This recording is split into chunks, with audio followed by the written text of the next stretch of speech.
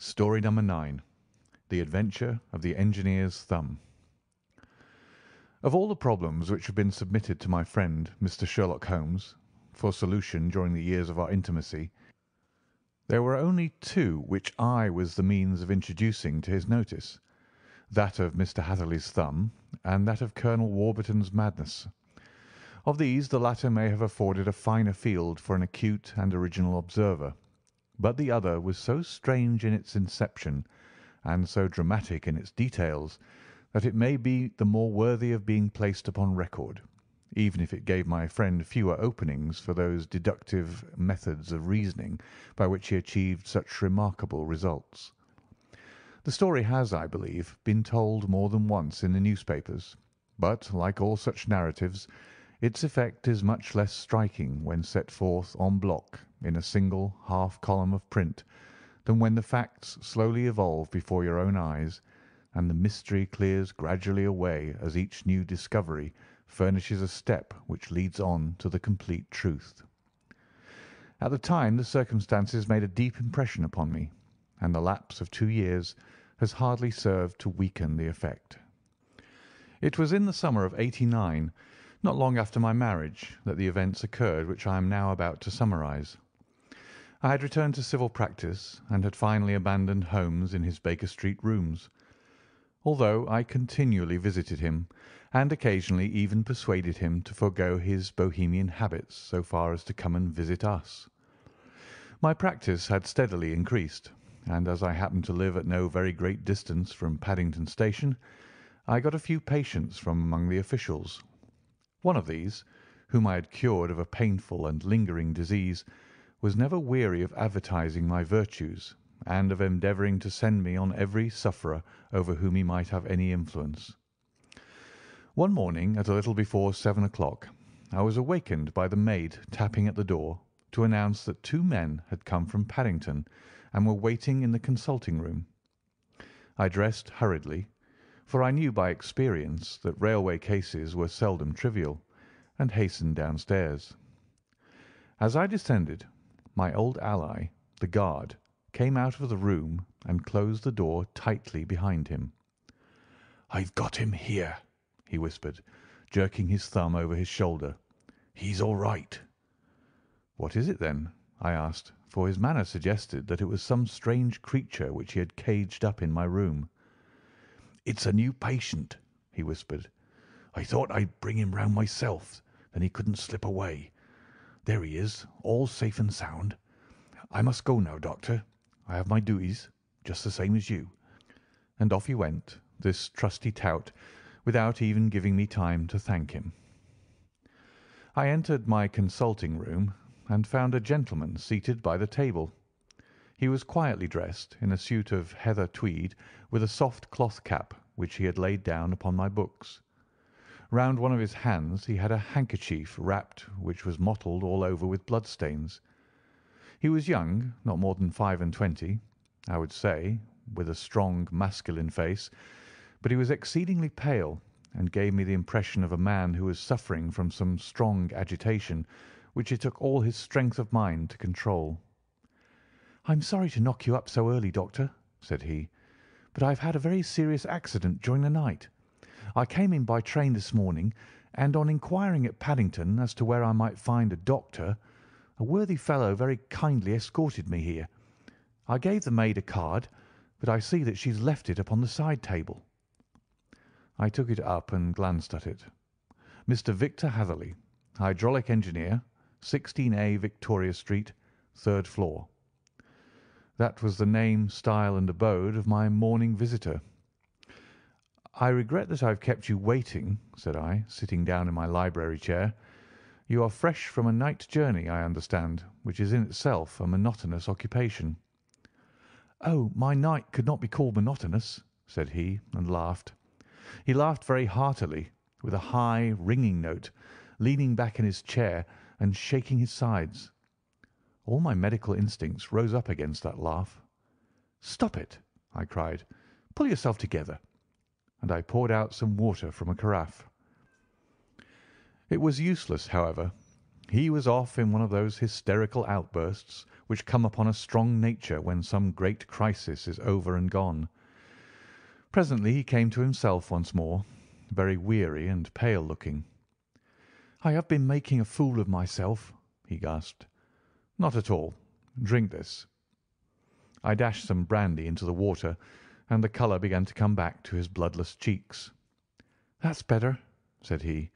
"And now, doctor, perhaps you would kindly attend to my thumb, or rather to the place where my thumb used to be." He unwound the handkerchief and held out his hand.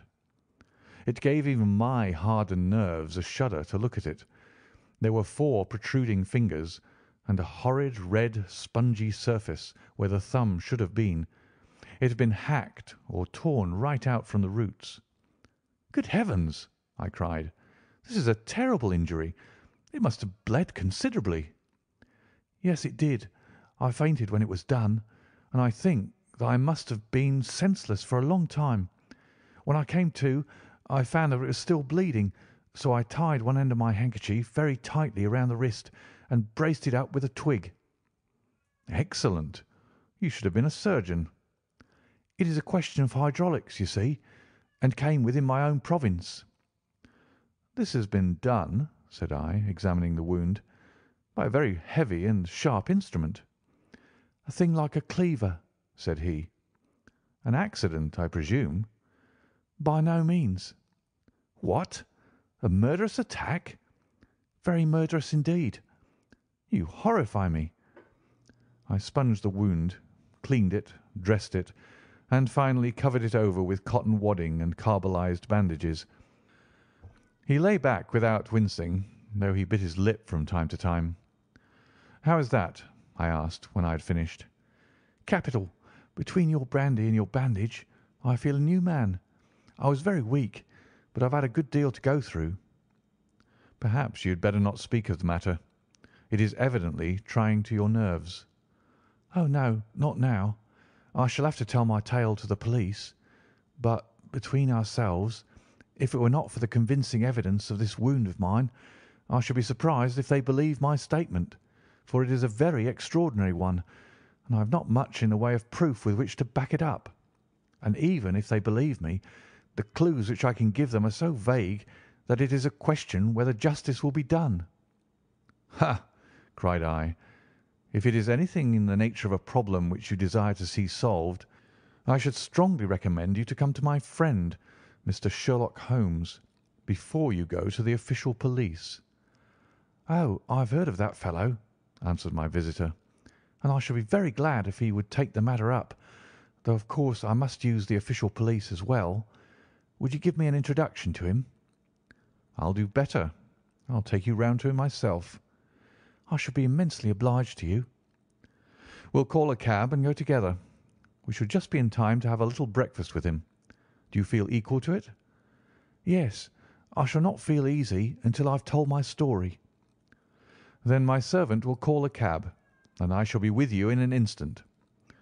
I rushed upstairs, explained the matter shortly to my wife, and in five minutes was inside a hansom driving with my new acquaintance to Baker Street. Sherlock Holmes was, as I expected, lounging about his sitting room in his dressing gown, reading the agony column of the Times, and smoking his before breakfast pipe, which was composed of all the plugs and dottles left from his smokes of the day before, all carefully dried and collected on the corner of the mantelpiece. He received us in his quietly genial fashion, ordered fresh rashers and eggs, and joined us in a hearty meal. When it was concluded, he settled our new acquaintance upon the sofa, placed a pillow beneath his head, and laid a glass of brandy and water within his reach. "It is easy to see that your experience has been no common one, Mr. Hatherley," said he. "Pray lie down there and make yourself absolutely at home. Tell us what you can, but stop when you are tired, and keep up your strength with a little stimulant." "Thank you," said my patient, "but I have felt another man since the doctor bandaged me, and I think your breakfast has completed the cure. I shall take up as little of your valuable time as possible, so I shall start at once upon my peculiar experiences." Holmes sat in his big armchair with the weary, heavy lidded expression which veiled his keen and eager nature, while I sat opposite to him, and we listened in silence to the strange story which our visitor detailed to us. "You must know," said he, "that I am an orphan and a bachelor, residing alone in lodgings in London. By profession I am a hydraulic engineer, and I have had considerable experience of my work during the seven years that I was apprenticed to Venner & Matheson, the well known firm of Greenwich. Two years ago, having served my time, and having also come into a fair sum of money through my poor father's death, I determined to start in business for myself, and took professional chambers in Victoria Street. I suppose that everyone finds his first independent start in business a dreary experience. To me it has been exceptionally so. During two years I have had three consultations and one small job, and that is absolutely all that my profession has brought to me. My gross takings amount to twenty-seven pounds ten shillings. Every day from nine in the morning until four in the afternoon I waited in my little den until at last my heart began to sink, and I came to believe that I should never have any practice at all. Yesterday, however, just as I was thinking of leaving the office, my clerk entered to say there was a gentleman waiting who wished to see me upon business. He brought up a card, too, with the name of Colonel Lysander Stark engraved upon it. Close at his heels came the colonel himself, a man rather over the middle size, but of an exceeding thinness. I do not think that I have ever seen so thin a man. His whole face sharpened away into nose and chin, and the skin of his cheeks was drawn quite tense over his outstanding bones.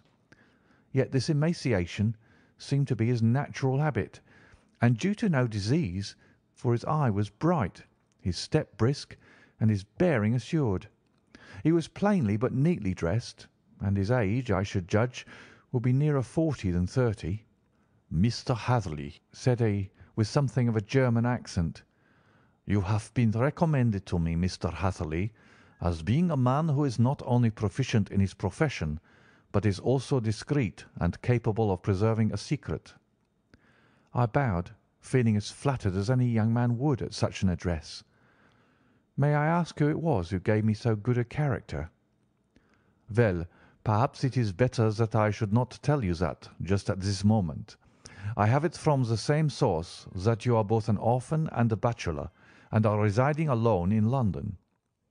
"That is quite correct," I answered, "but you will excuse me if I say that I cannot see how all this bears upon my professional qualifications. I understand that it was on a professional matter that you wished to speak to me."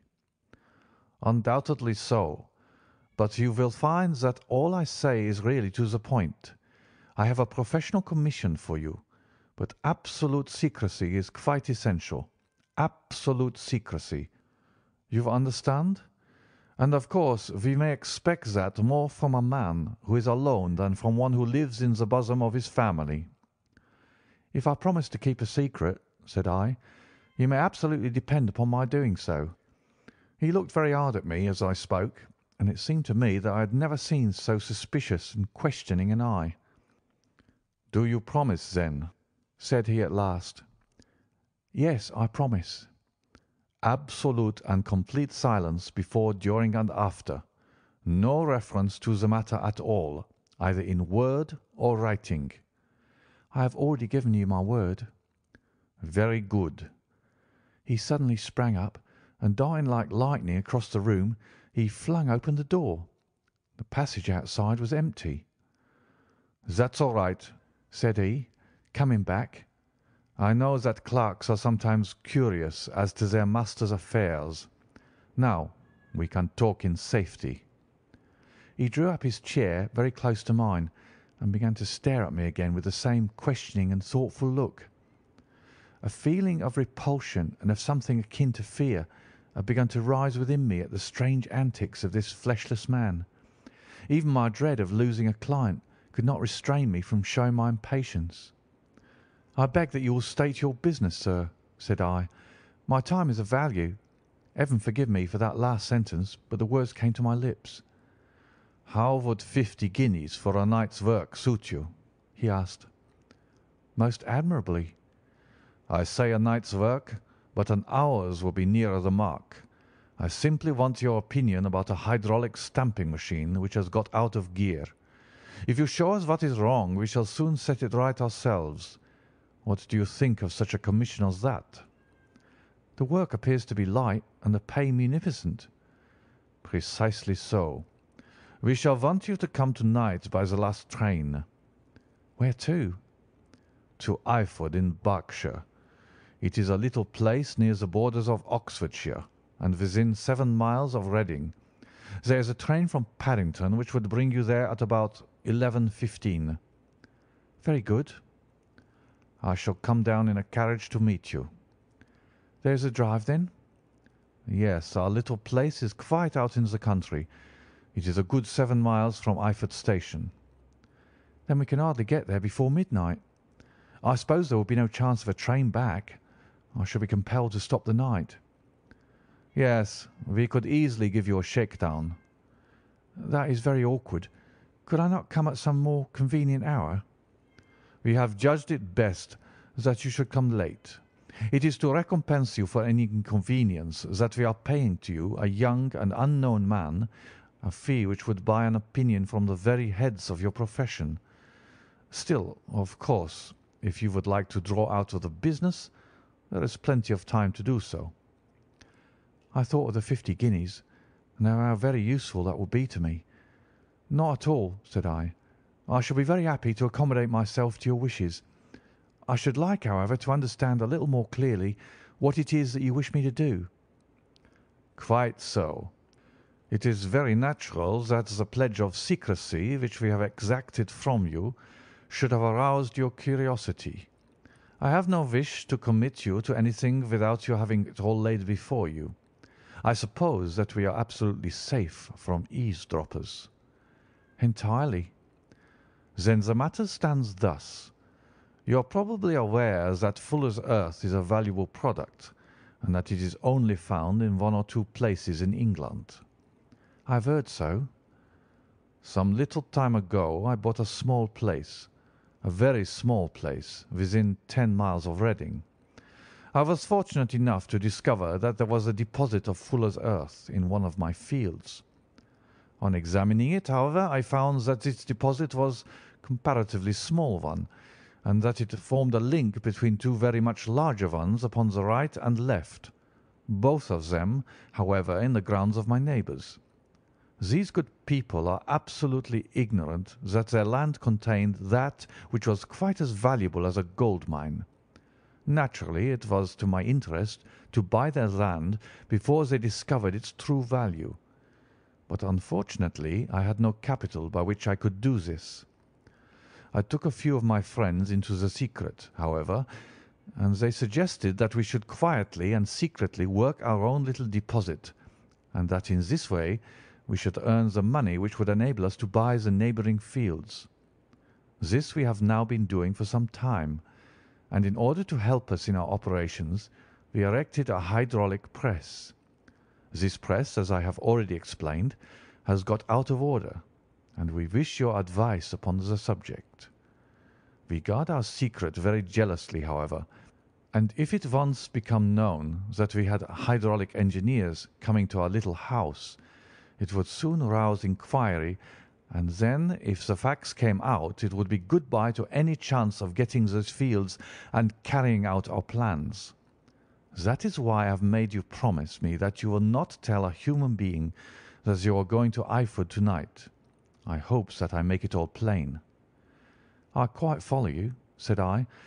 "The only point which I could not quite understand was what use you could make of a hydraulic press in excavating fuller's earth which, as I understand, is dug out like gravel from a pit." "Ah!" said he carelessly. "We have our own process. We compress the earth into bricks, so as to remove them without revealing what they are. But that is a mere detail. I have taken you fully into my confidence now, Mr. Hatherley, and I have shown you how I trust you." He rose as he spoke. "I shall expect you, then, at Eyford at eleven fifteen." "I shall certainly be there." "And not a word to a soul." He looked at me with a last long, questioning gaze, and then, pressing my hand in a cold, dank grasp, he hurried from the room.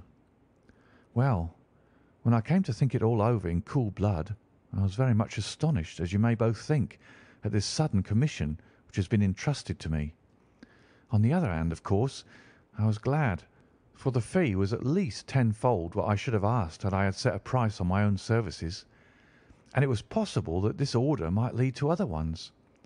On the other hand, the face and manner of my patron had made an unpleasant impression upon me, and I could not think that his explanation of the fuller's earth was sufficient to explain the necessity for my coming at midnight and his extreme anxiety lest I should tell anyone of my errand. However, I threw all fears to the winds, ate a hearty supper, drove to Paddington, and started off, having obeyed to the letter the injunction as to holding my tongue. At Reading I had to change, not only my carriage, but my station. However, I was in time for the last train to Eyford, and I reached the little dim lit station after eleven o'clock. I was the only passenger who got out there, and there was no one upon the platform save a single sleepy porter with a lantern.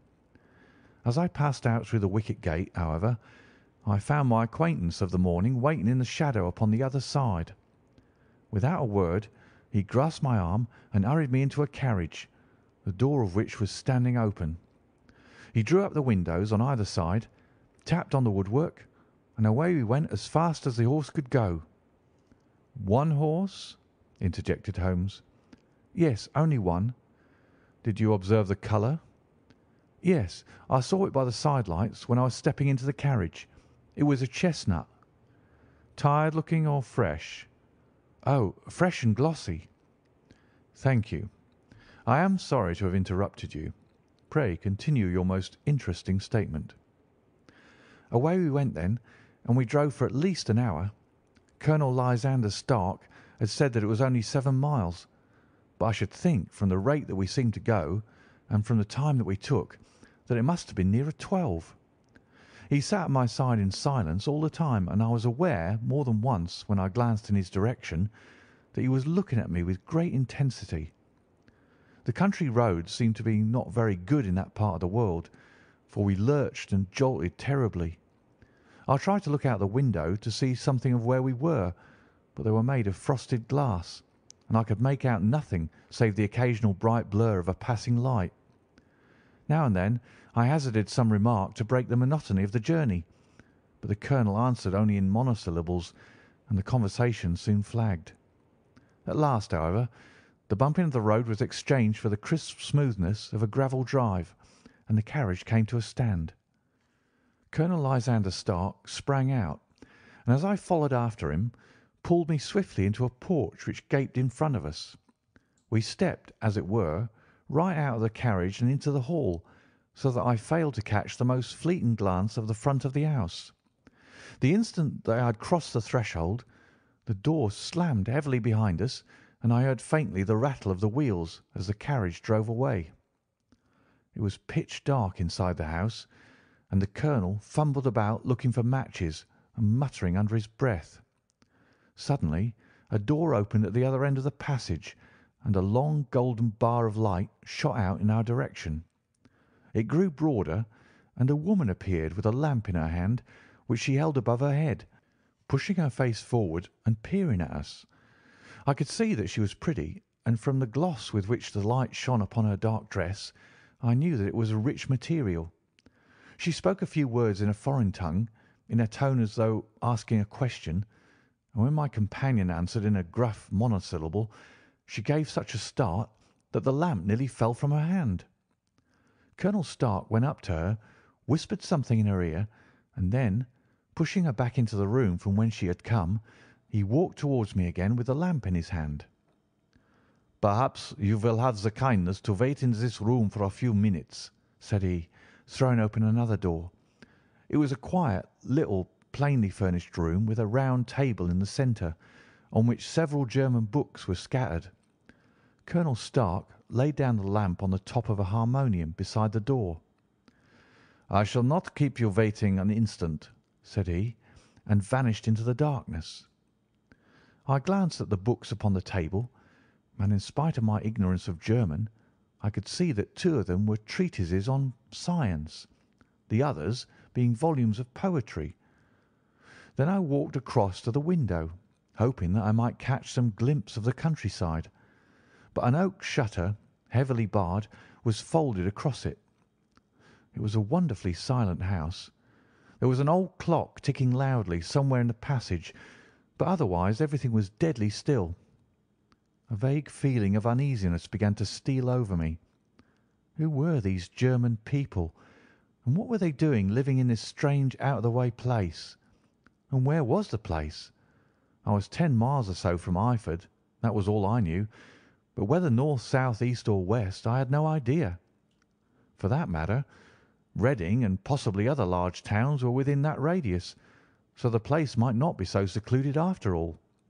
Yet it was quite certain, from the absolute stillness, that we were in the country. I paced up and down that room, humming a tune under my breath to keep up my spirits, and feeling that I was thoroughly earning my fifty guineas fee. Suddenly, without any preliminary sound in the midst of all the utter stillness, the door in my room swung slowly open the woman was standing in the aperture, the darkness of the hall behind her, the yellow light from my lamp beating upon her eager and beautiful face. I could see at a glance that she was sick with fear, and the sight sent a chill to my own heart. She held up one shaking finger to warn me to be silent, and she shot a few whispered words of broken English at me, her eyes glancing back like those of a frightened horse into the gloom behind her. "I would go," said she, trying hard, as it seemed to me, to speak calmly. "I would go. I should not stay here. There is no good for you to do." "But, madam," said I, "I have not yet done what I came for. I cannot possibly leave until I have seen the machine." "It is not worth your while to wait," she went on. "You can pass through the door. No one hinders and then, seeing that I smiled and shook my head, she suddenly threw aside her constraint and made a step forward with her hands wrung together. "For the love of Heaven!" she whispered, "get away from here before it is too late." But I'm somewhat headstrong by nature, and the more ready to engage in an affair when there's some obstacle in the way. I thought of my fifty guinea fee, of my wearisome journey, and of the unpleasant night which seemed to be before me. Was it all to go for nothing? Why should I slink away without having carried out my commission, and without the payment which was my due? This woman might, for all I know, be a monomaniac. With a stout bearing, therefore, though her manner had shaken me more than I care to confess, I still shook my head and declared my intention of remaining where I was. She was about to renew her entreaties when a door slammed overhead and the sound of several footsteps were heard upon the stairs. She listened for an instant, threw up her hands with a despairing gesture, and vanished as suddenly and as noiselessly as she had come. The newcomers were Colonel Lysander Stark and a short, thick man with a chinchilla beard growing out of the creases of his double chin, who was introduced to me as Mr. Ferguson. "This is my secretary and manager," said the colonel. By the way, I was under the impression that I left this door shut just now. I fear that you have felt the draught." "On the contrary," said I, "I opened the door myself because I felt the room to be a little close." He shot one of his suspicious looks at me. "Perhaps we had better proceed to business, then," said he. "Mr. Ferguson and I will take you up to see the machine." "I had better put my hat on, I suppose?" "Oh, no. It is in the house." "What! You dig fuller's earth in the house?" "No, no. This is only where we compress it. But never mind that. All we wish you to do is to examine the machine and to let us know what is wrong with it." We went upstairs together, the colonel first with the lamp, the fat manager and I behind him. It was a labyrinth of an old house with corridors, passages, narrow winding staircases, and little low doors, the thresholds of which were hollowed out by the generations who crossed them. There were no carpets and no signs of any furniture above the ground floor, while the plaster was peeling off the walls, and the damp was breaking through in green, unhealthy blotches. I tried to put on as unconcerned an air as possible, but I had not forgotten the warnings of the lady, even though I disregarded them, and I kept a keen eye upon my two companions. Ferguson appeared to be a morose and silent man, but I could see from the little that he said that he was at least a fellow countryman. Colonel Lysander Stark stopped at last before a low door, which he unlocked. Within was a small square room, in which the three of us could hardly get in one time. Ferguson remained outside, and the colonel ushered me in. "We are now," said he, "actually within the hydraulic press, and it would be a particularly unpleasant thing for us if anyone were to turn it on. The ceiling of this small chamber is really the end of the descending piston, and it comes down with the force of many tons upon this metal floor. There are small lateral columns of water outside which receive the force, and which transmit and multiply it in the manner which is familiar to you. The machine goes readily enough, but there is some stiffness in the working of it, and it has lost a little of its force. Perhaps you will have the goodness to look it over and to show us how we can set it right." I took the lamp from him, and I examined the machine very thoroughly. It was indeed a gigantic one, and capable of exercising enormous pressure. When I passed outside, however, and pressed down the levers which controlled it, I knew at once by the whishing sound that there was a slight leakage, which allowed a regurgitation of water through one of the side cylinders. An examination showed that one of the india-rubber bands which was round the head of a driving rod had shrunk so as not quite to fill the socket along which it worked. This was clearly the cause of the loss of power, and I pointed it out to my companions, who followed my remarks very carefully and asked several practical questions as to how they should proceed to set it right. When I had made it clear to them, I returned to the main chamber of the machine and took a good look at it to satisfy my own curiosity. It was obvious at a glance that the story of the fuller's earth was the merest fabrication, for it would be absurd to suppose that so powerful an engine could be designed for so inadequate a purpose. The walls were of wood, but the floor consisted of a large iron trough, and when I came to examine it I could see a crust of metallic deposit all over it. I had stooped and was scraping at this to see exactly what it was, when I heard a muttered exclamation in German and saw the cadaverous face of the colonel looking down at me. "What are you doing there?" he asked. I felt angry at having been tricked by so elaborate a story as that which he had told me. "I was admiring your fuller's earth," said I. "I think that I should be better able to advise you as to your machine if I knew what the exact purpose was for which it was used." The instant that I uttered the words I regretted the rashness of my speech. His face set hard, and a baleful light sprang up in his grey eyes. "Very well," said he. "You shall know all about the machine." He took a step backward, slammed the little door, and turned the key in the lock. I rushed towards it and pulled at the handle, but it was quite secure and did not give in the least to my kicks and shoves. "Hallo!" I yelled. "Hallo, Colonel, let me out!" And then suddenly in the silence I heard a sound which sent my heart into my mouth. It was the clank of the levers and the swish of the leaking cylinder. He had set the engine at work. The lamp still stood upon the floor where I had placed it when examining the trough. By its light I saw that the black ceiling was coming down upon me, slowly, jerkily, but as none knew better than myself, with a force which must within a minute grind me to a shapeless pulp. I threw myself screaming against the door and dragged with my nails at the lock. I implored the colonel to let me out, but the remorseless clanking of the levers drowned my cries. The ceiling was only a foot or two above my head, and with my hand upraised I could feel its hard, rough surface. Then it flashed through my mind that the pain of my death would depend very much upon the position in which I met it. If I lay on my face, the weight would come upon my spine, and I shuddered to think of that dreadful snap. Easier the other way, perhaps, and yet had I the nerve to lie and look up at that deadly black shadow wavering down upon me? Already I was unable to stand erect, when my eye caught something which brought a gush of hope back to my heart. I have said that though the floor and ceiling were of iron, the walls were of wood.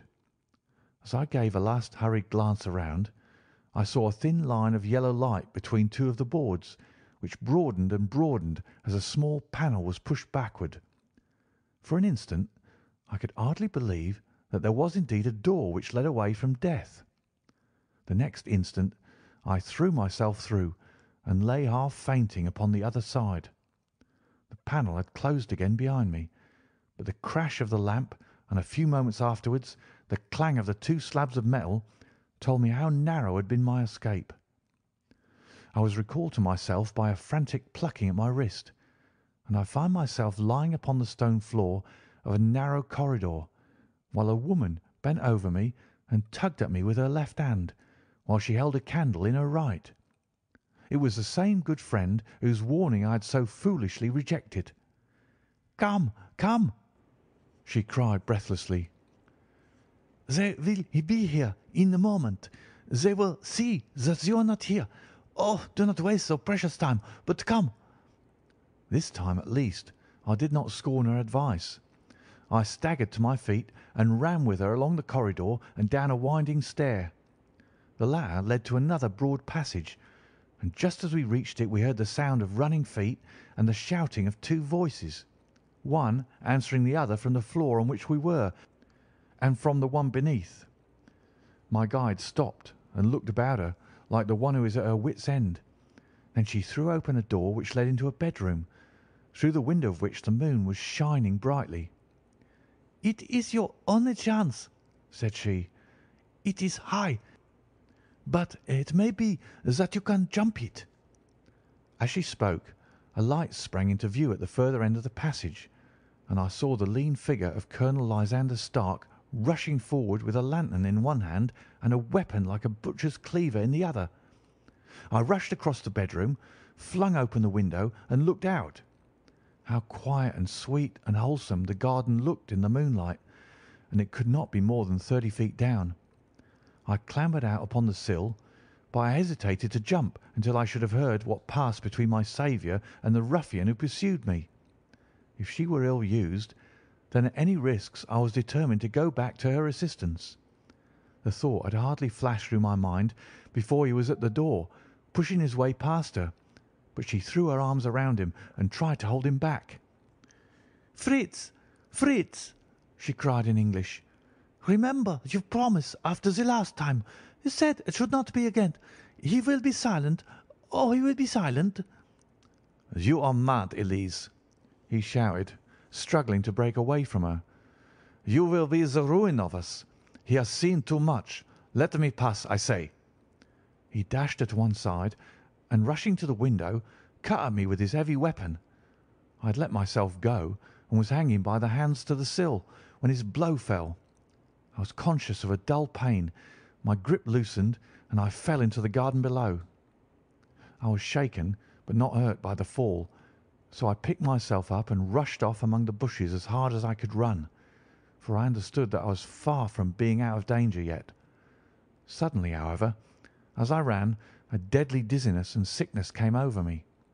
I glanced down at my hand, which was throbbing painfully, and then for the first time saw that my thumb had been cut off and that the blood was pouring from my wound. I endeavoured to tie my handkerchief round it, but there came a sudden buzzing in my ears, and next moment I fell in a dead faint among the rose bushes. How long I remained unconscious I cannot tell. It must have been a very long time, for the moon had sunk and a bright morning was breaking when I came to myself. My clothes were all sodden with dew, and my coat sleeve was drenched with blood from my wounded thumb. The smarting of it recalled in an instant all the particulars of my night's adventure, and I sprang to my feet with the feeling that I might hardly yet be safe from my pursuers. But to my astonishment, when I came to look round me, neither house nor garden were to be seen.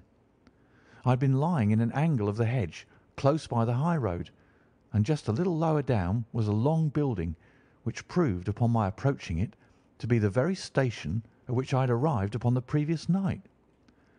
Were it not for the ugly wound upon my hand, All that had passed during those dreadful hours might have been an evil dream.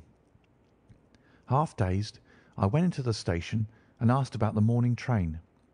There would be one to Reading in less than an hour. The same porter was on duty, I found, as I had been there when I arrived. I inquired of him whether he had ever heard of Colonel Lysander Stark. The name was strange to him.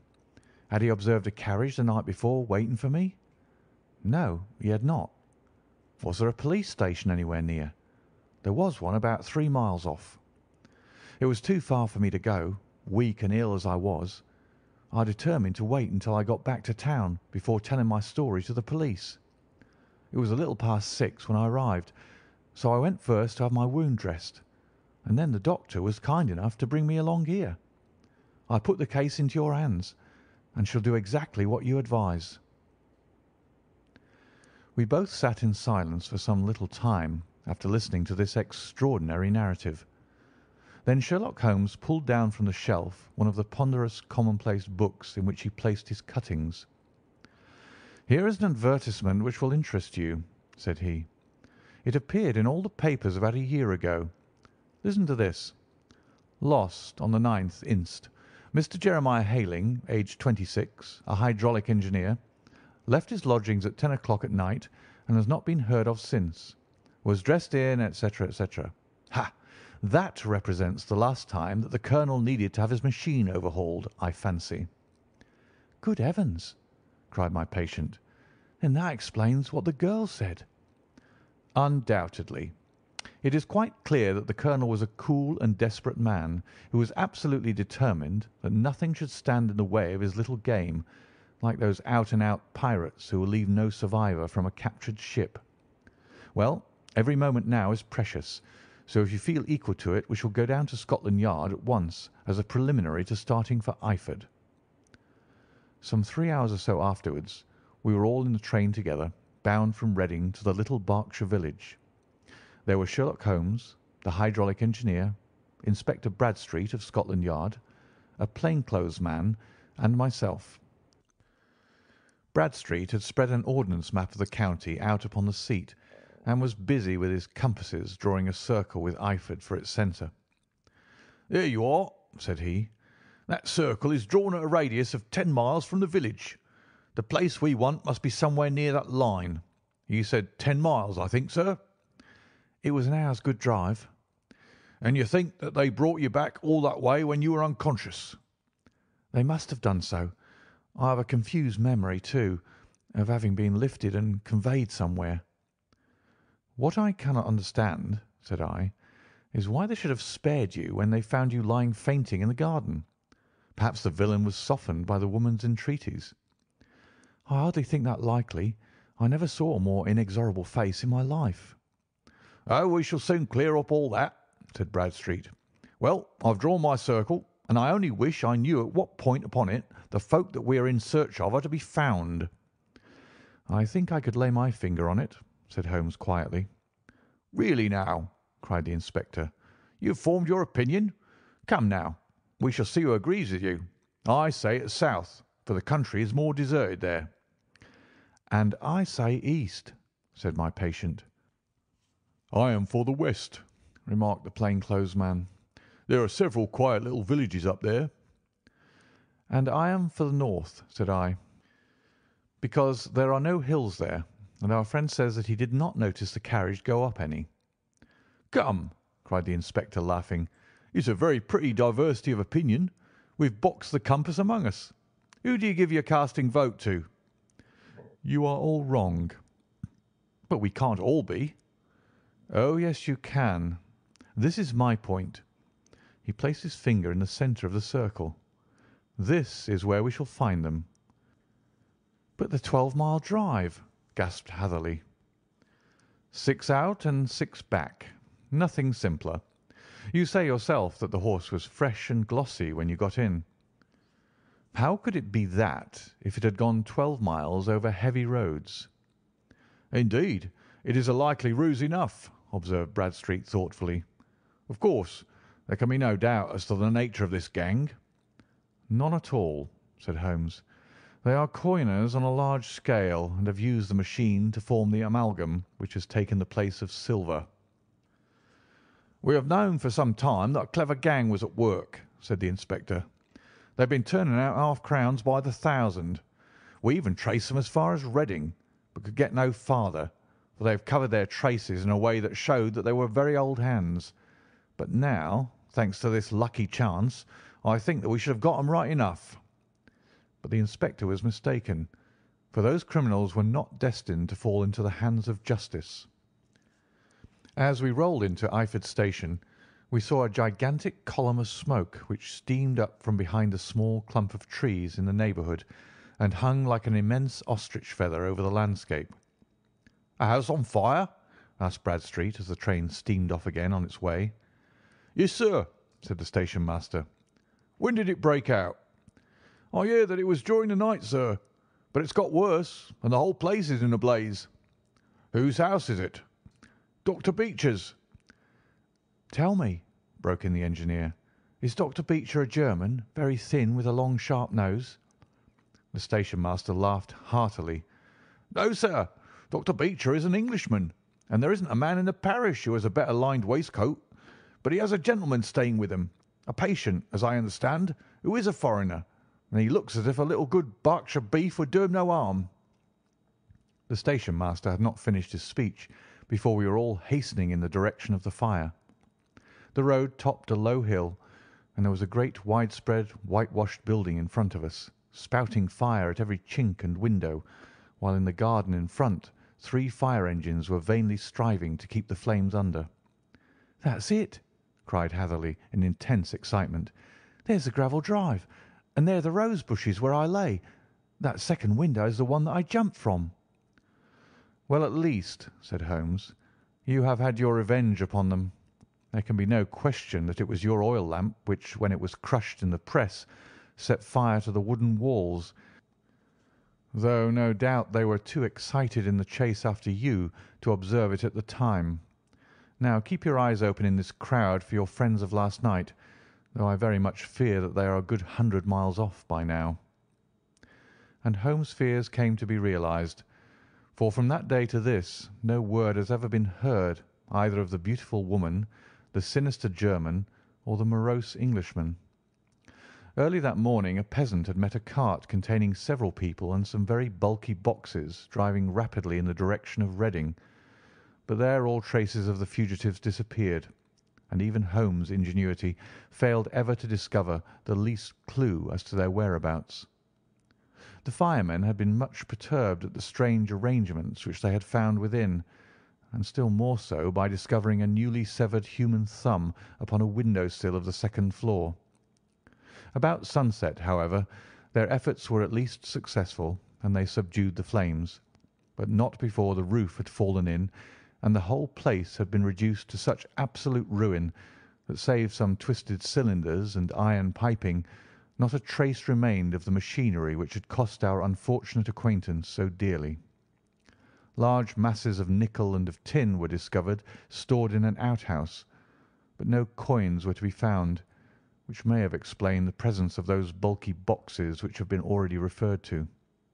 How our hydraulic engineer had been conveyed from the garden to the spot where he recovered his senses might have remained for ever a mystery were it not for the soft mould which told us a very plain tale. He had evidently been carried down by two persons, one of whom had remarkably small feet and the other unusually large ones. On the whole, it was most probable that the silent Englishman, being less bold or less murderous than his companion, had assisted the woman to bear the unconscious man out of the way of danger. "Well," said our engineer ruefully as we took our seats to return once more to London, "it has been a pretty business for me. I have lost my thumb, and I lost a fifty guinea fee. And what have I gained?" "Experience," said Holmes, laughing. "Indirectly it may be of value, you know. You have only to put it into words to gain the reputation of being excellent company for the remainder of your existence. End of the Adventure of the Engineer's Thumb